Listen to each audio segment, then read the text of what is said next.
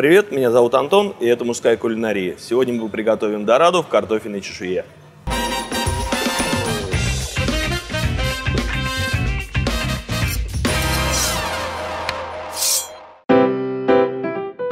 Дорада или морской карась, как его называют, это очень нежная средиземноморская белая рыба. Чтобы ее правильно приготовить, нужно знать несколько секретов и тайн, которые я вам сегодня расскажу. Дораду мы будем готовить сегодня не просто с чешуей, а с картофельной чешуей. Для этого мне понадобится филе дорадо, с которой я уберу ее чешую, которая у нее была. Когда я убираю чешую, лучше всего использовать нож не сильно острый, потому что сильно острый нож, скорее всего, порвет вашу чешую и не снимет ее ровно. Поэтому, если у вас есть на кухне не очень острый нож, я советую его использовать. У нас остается наша дорада и картофель.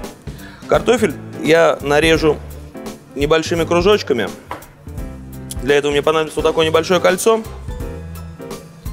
И я вырежу его на небольшие цилиндрики.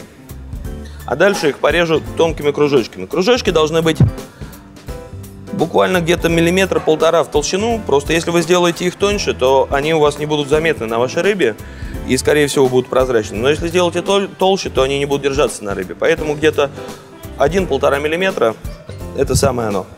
А, когда я нарезал чешую, теперь ее нужно немножко пришпарить. Для этого я буду использовать фритюр.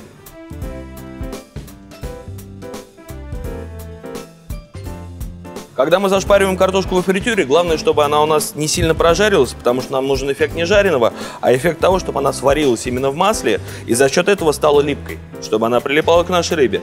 А, мы немного солим наше филе со стороны, где у нее была кожа, и с этой же стороны начинаем выкладывать картофель. Выкладываем мы картофель всегда от головы к брюху и от головы к хвосту.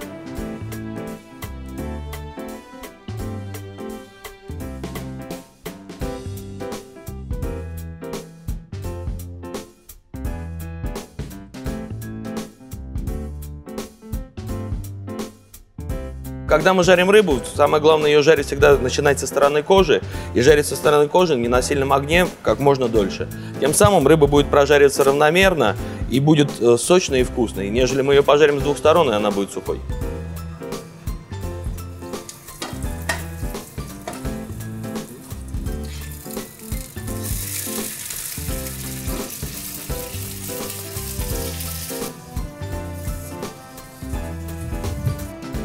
И вишенка на торте для нашей дорады – это, конечно же, соус. На той же сковороде, на которой мы жарили дорадо, мы добавляем немного рыбного бульона. Лимонного сока.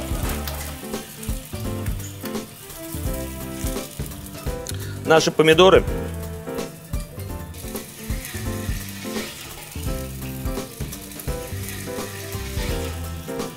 И немного соли. А в конце, когда наш рыбный бульон выпарился и отдал нам весь вкус, мы снимаем с плиты нашу сковороду и добавляем сливочное масло. Сливочное масло поможет затянуть нас, наш соус и сгладить кислинку лимона, сделать его более затянутым и вкусным. Но при всем этом никогда нельзя сливочное масло добавлять в соус, который кипит, иначе сливочное масло не даст эмульсию с бульоном и отсечется и будет сверху пленкой. А нам нужна единая консистенция, который мы добьемся, вымешивая сливочное масло на горячей сковороде, но ни в коем случае не на плите. Так как в базилике, как в любом другом зеленом овоще либо траве содержится хлорофилл, а хлорофилл э, распадается при температуре, мы добавляем наш базилик в самом конце, чтобы сохранить его яркий цвет и, конечно же, вкус. И наш соус готов.